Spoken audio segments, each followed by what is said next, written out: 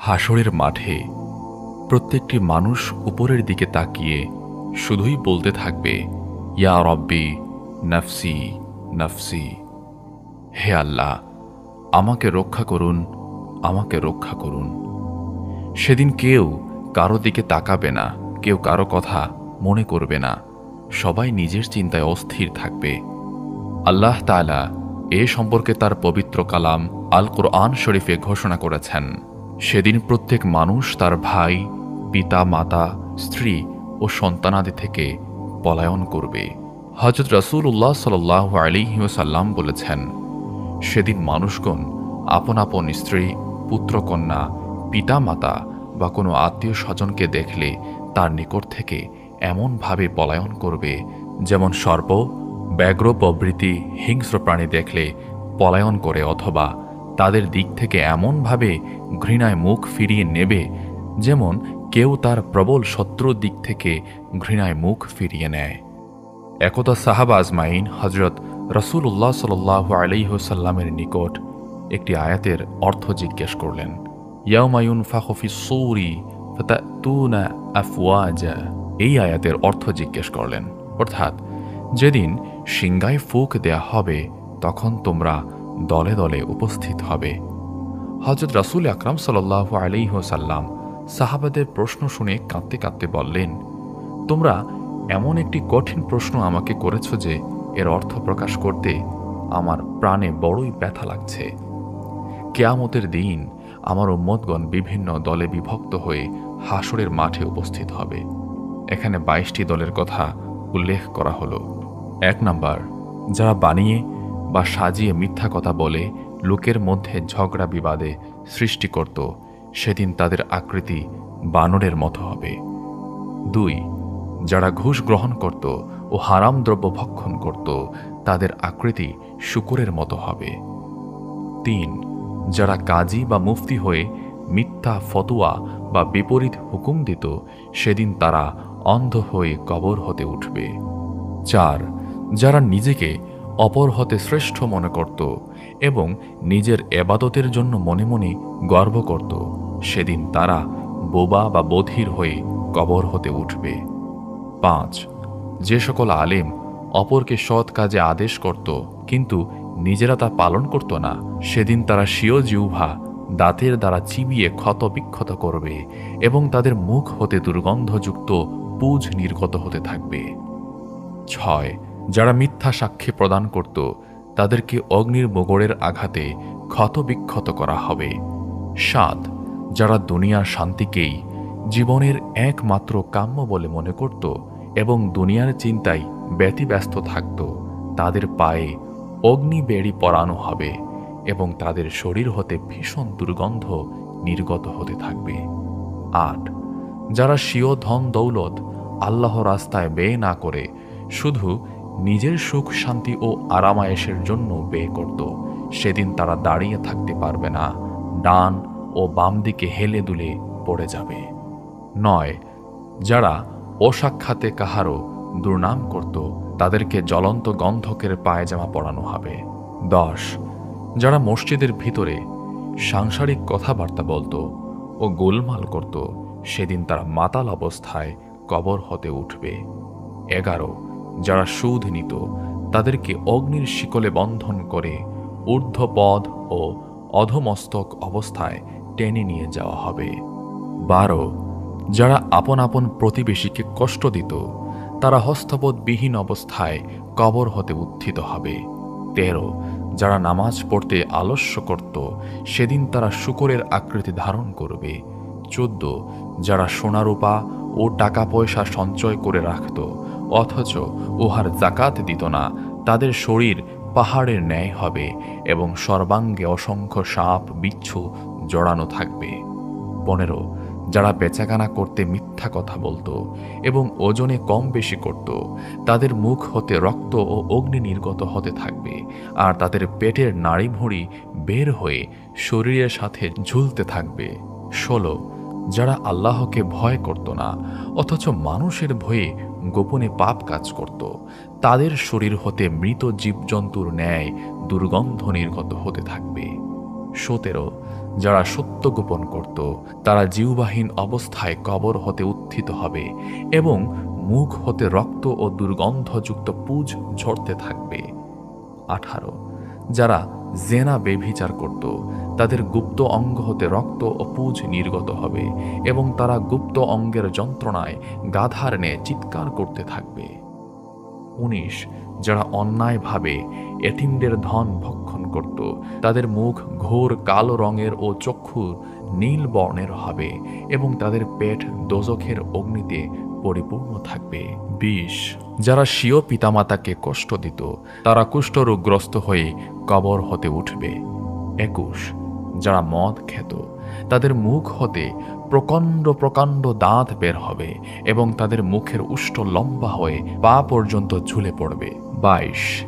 আর একদল লোক কবর হতে এরূপ অবস্থায় উত্থিত হবে যে, তাদের চেহারা পূর্ণিমার চন্দ্রের মতো উজ্জ্বল হবে এবং শরীর হতে তাদের আতরের সুগন্ধি নির্গত হতে থাকবে। তারা বিদ্যুতের মতো দ্রুত গতিতে পুলসিরাত পার হয়ে বেহেশতে প্রবেশ করবে।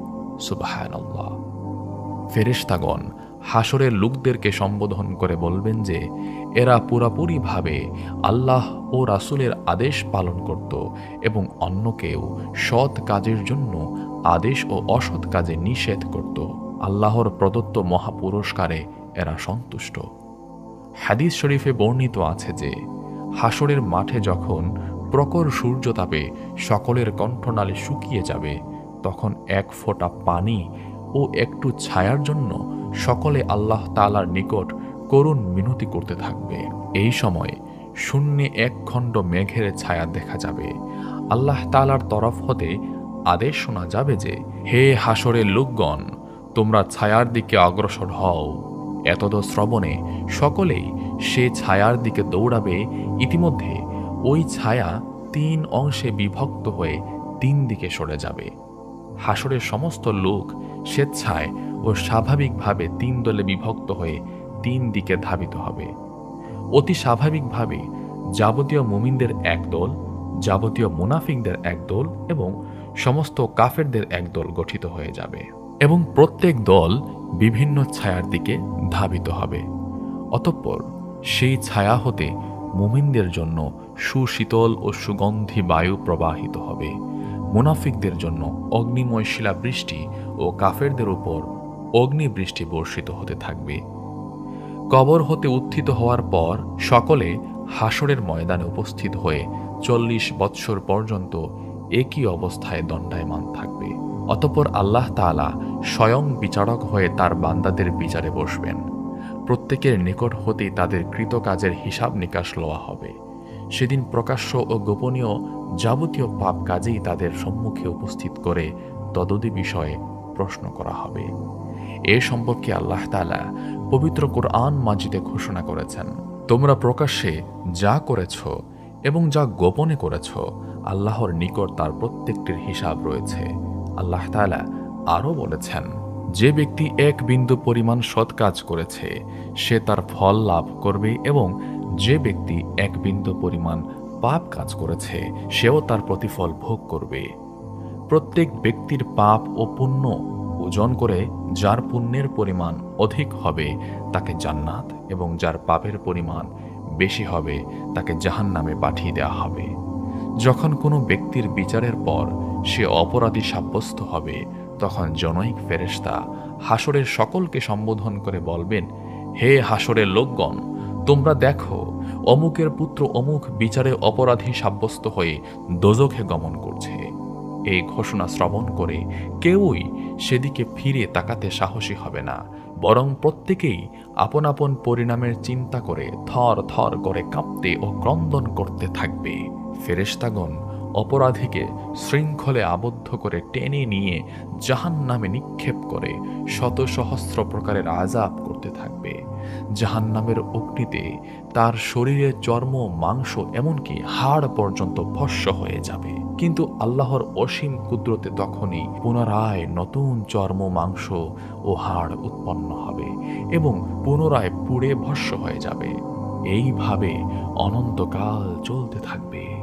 তারা ফেরেশতাদেরকে অনুনয় বিনয় করে বলতে থাকবে যে, আমাদের প্রতি একটু দয়া করুন, শাস্তি একটু লাঘব করুন।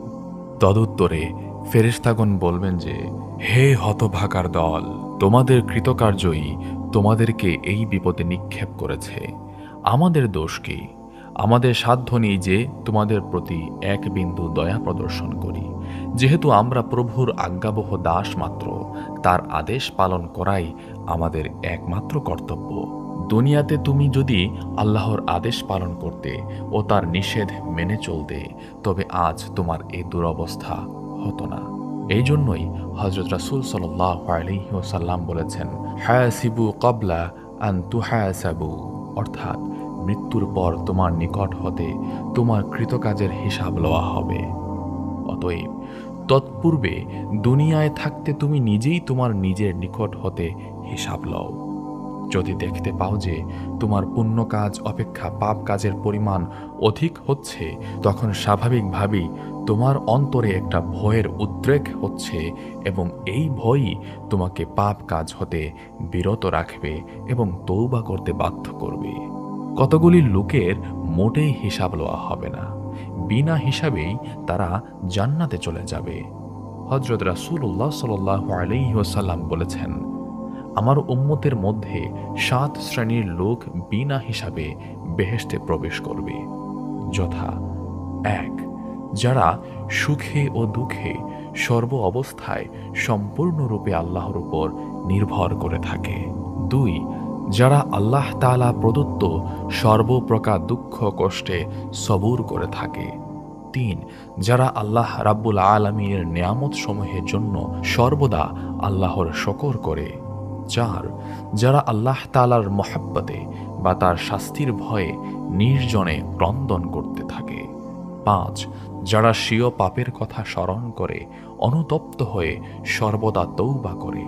ছয়, যারা গোপনে বা নির্জনে আল্লাহর জেকের করার জন্য রাত্রি জাগরণ করে। সাত, যারা প্রতি মুহূর্তে মৃত্যুর কথা স্মরণ করে এবং সর্বদা মৃত্যুর জন্য প্রস্তুত থাকে। কতগুলি লোকের হিসাব অতি সহজে সম্পন্ন হবে। তাদেরকে মাত্র একটি কথা জিজ্ঞেস করা হবে যে, তোমাকে আমি কি উদ্দেশ্যে সৃষ্টি করেছিলাম? তারা উত্তরে বলবে যে, হে আল্লাহ, আপনি আমাদেরকে শুধু আপনার এবাদত করার উদ্দেশ্যেই সৃষ্টি করেছিলেন।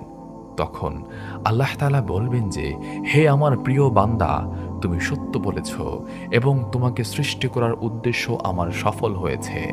এখন তুমি তোমার ইচ্ছা মতো যে কোনো দরজা দিয়ে জান্নাতে প্রবেশ করো। সুবাহান্লাহ আর কতগুলি লোককে তিনটি মাত্র প্রশ্ন জিজ্ঞেস করে তাদের হিসাব শেষ করা হবে। প্রথমে প্রশ্ন করা হবে যে, তুমি দুনিয়ায় কি করেছ? তারা উত্তরে বলবে যে, হে আল্লাহ, আপনি যা আদেশ করেছিলেন, আমি তাই করেছি। দ্বিতীয় প্রশ্ন করা হবে, তুমি দুনিয়াতে কি খেয়েছ? তারা উত্তরে বলবে, হে আল্লাহ, আপনি আমাকে যা খাইয়েছেন, আমি তাই খেয়েছি। তাদেরকে তৃতীয় প্রশ্ন করা হবে, তুমি দুনিয়াতে কি পড়েছিলে? তারা উত্তরে বলবে যে, হে পরবার দিগারে আলম, আপনি আমাকে যা পড়বার তৌফিক দিয়েছেন, আমি তাই পড়েছি। তখন আল্লাহ তালা বলবেন যে, তোমরা নিশ্চিন্ত মনে বেহেস্তে চলে যাও, তোমাদের অন্য কোনো হিসাব নিকাশ নাই। হজরত রাসুল্লাহ সাল আলাইহি ওসাল্লাম বলেছেন, কেয়ামতের দিন মিসকিনকে যখন হিসেবের অন্য আহ্বান করা হবে, তখন সে একখানা ছেঁড়া কম্বল শরীরে জড়িয়ে একটা ঝোলা কাঁধে ফেলে একখানা লাঠি হাতে নিয়ে কাঁপতে কাঁপতে আল্লাহ পাকের সম্মুখে হাজির হবে। আল্লাহ তারা তাকে বলবেন, হে আমার প্রিয় বান্দা, আমি দুনিয়াতে তোমাকে দরিদ্র করেছিলাম। দুনিয়ার সকল প্রকার সুখ, শান্তি ও আরাম আয়েস হতে তোমাকে বঞ্চিত করেছিলাম। এবং তুমি আমার দেয়া কষ্ট, দুঃখ, সন্তুষ্ট মনে সহ্য করেছিলে। সেজন্য আমি তোমার প্রতি অত্যন্ত সন্তুষ্ট হয়েছি। আজ আমি তোমাকে এমন পুরস্কার দেব, তুমি কোনোদিন কল্পনাও করতে পারোনি। হে আমার প্রিয় বান্দা, আজ তোমার কোনো হিসেব নিকেশ নেই, তুমি বেহেসতে চলে যাও। সুবাহান পরবার দিগারে আলমের এই আদেশ পাওয়া সত্ত্বেও সে বেহেস্তে না যে দাঁড়িয়ে থাকবে। তখন আল্লাহ তারা তাকে জিজ্ঞেস করবেন যে, হে বান্দা, তুমি আর কি চাও? তখন সে উত্তরে বলবে যে, দুনিয়াতে আমি নিজের ও আমার পরিবার বর্গের ভরণ পোষণের জন্য লোকের দ্বারে দ্বারে ভিক্ষা করেছি। যারা আপনার সন্তুষ্টি লাভের আশায় আমার প্রতি দয়া পরবশ হয়ে আমাকে এক টুকরা রুটি বা এক মুষ্টি চাউল সাহায্য করেছিল, আজ তাদেরকে ছেড়ে আমি জান্নাতে যেতে পারি না। তখন পরম করুণাময় আল্লাহ আদেশ করবেন, দুনিয়াতে তোমাকে যারা সাহায্য করেছিল, আজ আমি তাদের প্রত্যেকের গোনা মাফ করে দিলাম। তুমি তাদেরকে সঙ্গে নিয়ে আনন্দের সাথে জান্নাতে প্রবেশ করো। অতঃপর সেই জীর্ণ বস্ত্র পরিহিত মিসকিনকে শাহী পোশাকে সজ্জিত করে বোরাকে আরোহণ করিয়ে সত্তর হাজার ফেরেস্তা তাকে সসম্মানে বেহেস্তে পৌঁছে দেবেন।